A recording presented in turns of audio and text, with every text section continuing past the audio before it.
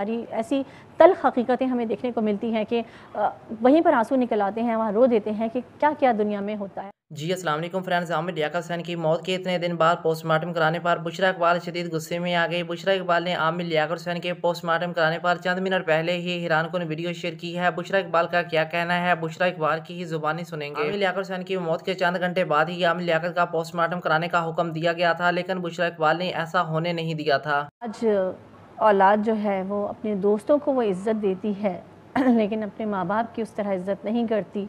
और यकीन जाने ये क़यामत की निशानियों में से भी है कि एक वक्त, वो वक्त आएगा कि बेटा जो है वो अपने दोस्त की इज़्ज़त करेगा, लेकिन अपने बाप की इज़्ज़त नहीं करेगा। तो जबकि कल अदालत ने फ्रीकैन के बयान सुनने के बाद आमिर लियाकत हुसैन के पोस्टमार्टम का फैसला सुना दिया था। तो बुशरा इकबाल ने एक बार फिर इस फैसले पर अपना बयान दिया है, जिन्होंने आमिर लियाकत हुसैन के पोस्टमार्टम का दावा किया है। और अब आमिर लियाकत हुसैन को इंसाफ दिलवाना चाहते हैं। जब आमिर लियाकत ज़िंदा थे तो वो खुद इंसाफ मांग रहे थे तो तब वो लोग कहाँ पर थे?